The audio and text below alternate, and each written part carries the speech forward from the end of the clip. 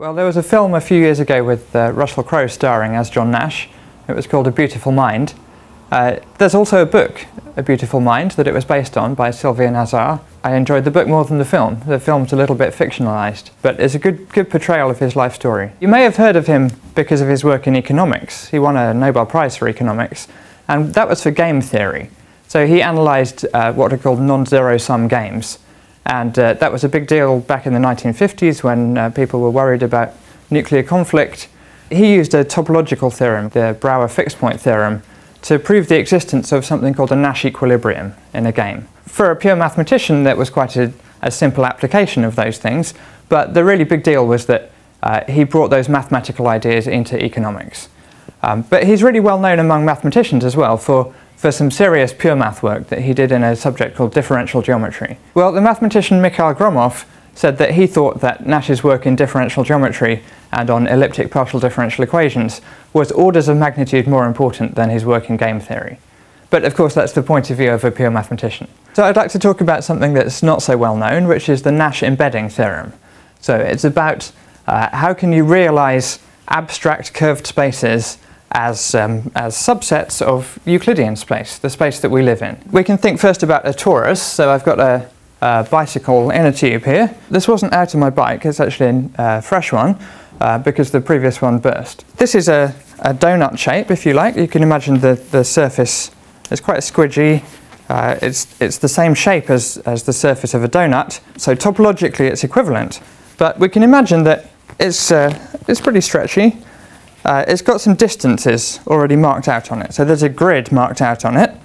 And uh, we can imagine that you can already measure the distance between two points on the surface by tracing along this grid and seeing how many squares you go along. So we can imagine a, a, a stretchy surface, but it's got its own intrinsic idea of what the distance is. If I twist it here, you can see the, the rectangles are getting uh, uh, to be longer and thinner, if I twist it the other way, they get long and thin the other way. So uh, what Nash was interested in was, given one of these surfaces, uh, with an idea of distance already marked on it, can we find a way to put it in three-dimensional space in such a way that the distances agree with the distance traced around the surface in three-dimensional space. So if I have a curved surface in three-dimensional space, it's already equipped with a distance, which is just the distance let's say between two points, I, could, I can trace lots of different curves on the surface and I'll just take the shortest one of those and that gives me a notion of distance. And that's called a, a Riemannian metric on the surface. But you can also have a, an abstract surface which is equipped already with a Riemannian metric. And then we want to know, does it come from an embedding?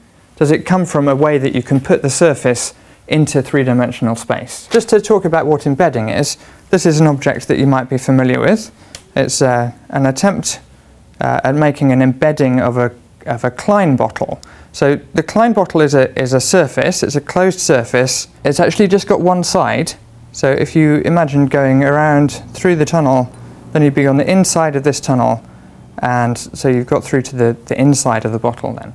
So it's a rather unusual surface, and it's got no boundary, uh, but there's a problem with this glass one, which is forced on it by being in three-dimensional space, which is that it intersects itself. You can see this tube here is passing through a piece of the surface here, and what we'd like actually is to realize the surface in, let's say, four-dimensional space in such a way that there's no intersection with itself. This is what's called an immersion. So it's uh, Everywhere it's smooth, nicely curved, uh, but it intersects itself. So that's kind of like a flaw. That means it's not a that's, Klein bottle. That's a flaw. So this isn't really a Klein bottle.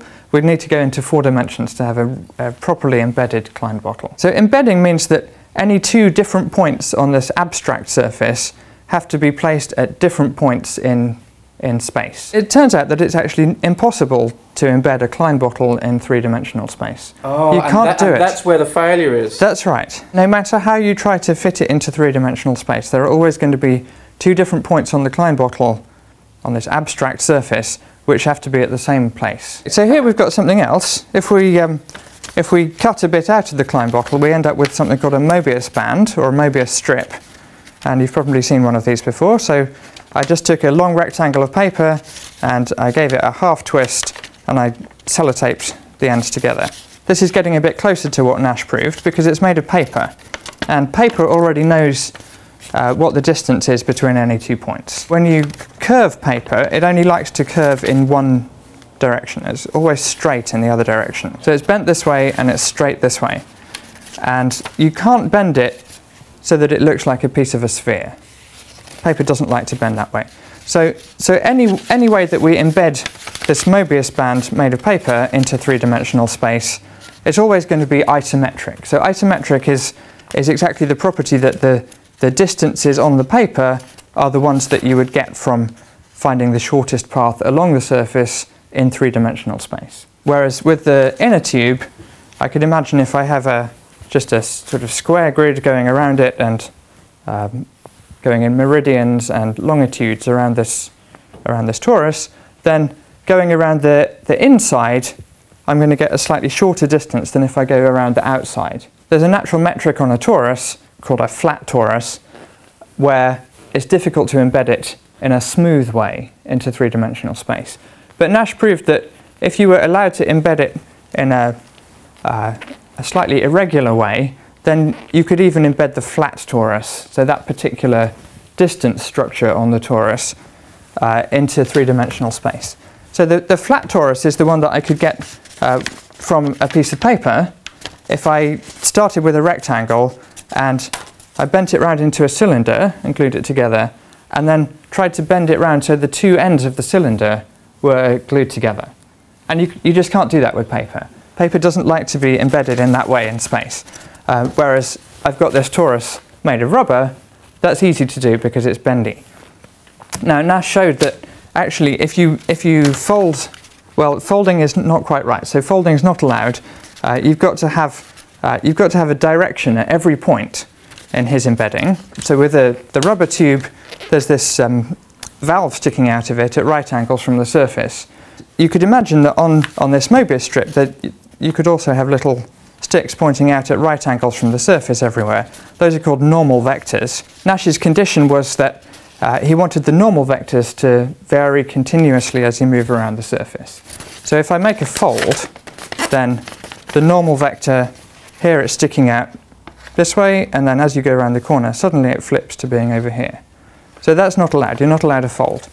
So Nash was interested in embedding this flat torus made of paper so that everywhere you embed it, the normal vector exists and it moves continuously. And he showed that actually you can do that, which is quite a counterintuitive result. The catch is that the, the normal vector moves continuously but not differentiably. So uh, if you know what that means. So it's like a, it's a bit like a fractal embedding. In fact, it was, it was any Riemannian manifold. So it doesn't even have to be a surface. It could be three-dimensional or four-dimensional. Um, you just have a, um, a manifold, so it's a curved space, if you like an abstract space, which you imagine as being made of rubber, and you're trying to embed it in Euclidean space, but maybe 10-dimensional or 20-dimensional Euclidean space. So we've got, let's say, a, a five-dimensional um, if you can imagine five-dimensional rubber. Uh, we've got this five-dimensional object. Let's say it's, it's like this torus. There's no boundary, and it's just a, a finite bounded thing. Uh, mathematicians call that compact. He showed that if you have an m-dimensional manifold, so a Riemannian manifold, that means one of these curved spaces with the distance already prescribed on it, uh, it can be embedded isometrically. So that means that the distance is exactly the one that you get from the Euclidean space. You preserve its grid. That's right. In, now how many dimensions do we need? We need m times 3m plus 11 over 2. That's a lot of dimensions. There's an extra condition about the about the the type of the embedding. So how regular is it? Can you take the coordinate functions and differentiate them lots of times? For this theorem, with this many dimensions, this embedding can be as smooth as you possibly could imagine. So um, the technical thing for that is C infinity. It means you can differentiate all the coordinate functions as many times as you like. So for the tire, we've got we've got m equals 2. It's a, two, it's a surface, so it's got two dimensions. At any point on, on the tyre, you can go in two different directions at right angles. And so if we plug 2 in here, what are we going to get? 3 times 2 plus 11, that's 17, times 2 divided by 2. So we need 17 dimensions. 17 dimensional Euclidean space. That's uh, hard to imagine, uh, but Nash's theorem says that no matter what structure you have on the, on the surface to start with, with the distances, as long as they're, uh, um, as long as they're suitably smooth, so suitably differentiable, then you can embed it in 17 dimensional space in such a way that you recover the distance from the embedding. But does it have to be that high? Uh, it doesn't necessarily have to be that high. That's what he proved you could do for any any possible distance that you put on the surface. So this is an upper bound on, this, on the number of dimensions that you need. So in the case of a torus, it may be that three dimensions is enough, and it may not be that three dimensions is enough. So uh, in particular, if you want to embed a, uh, the flat torus, so that's the, the one that you get from taking a rectangle of paper and gluing the opposite sides, if you want to embed that even so that you can differentiate the coordinate functions twice, so just a little bit smooth, uh, then you can't embed it in three-dimensional space. And that's because there's always going to be a point somewhere on the extreme of the torus where, where the surface is curving in the same way in both directions. So like a little piece of the sphere. And the curvature of the surface is something that the surface knows about. So just, just from knowing the distances on the surface between two points, I can tell you what the curvature is there. And so a point of, of positive curvature, so that means like a sphere, um, that's not going to be the same as a flat torus. Well, before he came along, there was a question about whether surfaces that you get in as subsurfaces of, of high-dimensional spaces are really just the same category of objects as, as, as these abstract surfaces with Riemannian metrics on them, and so he, he answered that. But also the techniques that he used were very important. So, so his, his proof was solving a system of differential equations called partial differential equations.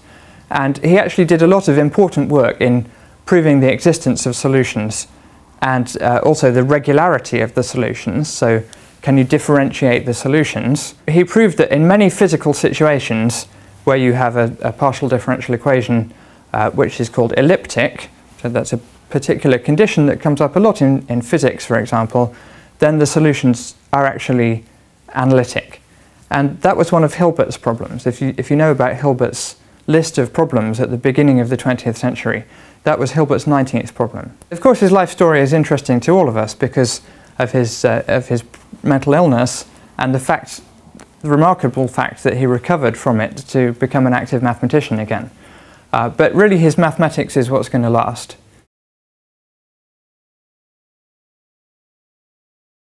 I've got something I can use.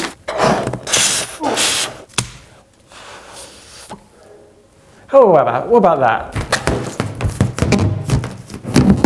We have the torus shape, and for my next trick, here's a poodle. Uh, so there's our torus shape.